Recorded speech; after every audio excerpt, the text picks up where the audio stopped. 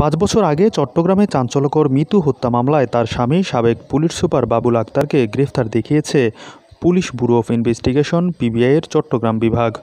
এর আগে সাবেক এই এসপিকে জিজ্ঞাসাবাদের জন্য সোমবার তাকে ঢাকা থেকে চট্টগ্রামে নেওয়া হয়েছে।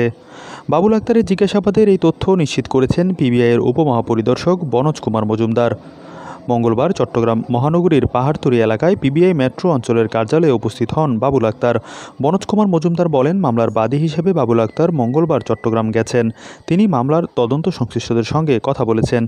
এটাকে জিজ্ঞাসাবাদ বা তদন্তের বিষয়ে জানতে চাওয়া যে কোনো কিছুই বলা যেতে পারে। বাবুল আক্তার স্ত্রী হত্যা মামলার বাদী হলেও তার শ্বশুরের অভিযোগ জামাই বাবুল আক্তারই তার মেয়ের হত্যাকাণ্ডে জড়িত।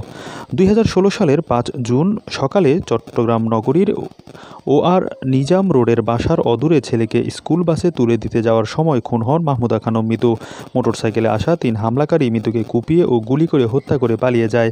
ঘটনার পর থেকে পুলিশের পক্ষ থেকে বলা হচ্ছিল, গত কয়েক বছরে চাকুরিকালীন সময়ে চট্টগ্রামে জঙ্গি দমন অভিযানে মুখ্য ভূমিকা পালন করেছিলেন বাবুল আক্তার। আর এ কারণে জঙ্গিদেরই টার্গেটে ছিলেন তিনি ও তার পরিবারের সদস্যরা। তবে ঘটনার দুদিন আগে বদলিজনিত কারণে ঢাকায় আসেন এসপি বাবুল আক্তার। ঘটনার দিন পাঁচজন তার নতুন কর্মস্থলে যোগ দেওয়ার কথা ছিল। আর এদিনই ঘটে যায় মর্মান্তিক ঘটনা।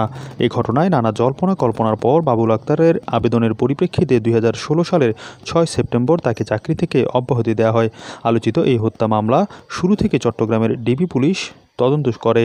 তারা প্রায় তিন বছর তদন্ত করেও চার্জশিট দিতে না পারায় দুই হাজার বিশ সালের জানুয়ারিতে মামলাটির তদন্তভার ডিবি থেকে পিবিআইতে দেন আদালত। অবশেষে সেই মামলায় মিতুর স্বামী বাবুল আক্তারকেই গ্রেফতার দেখাল পিবিআই।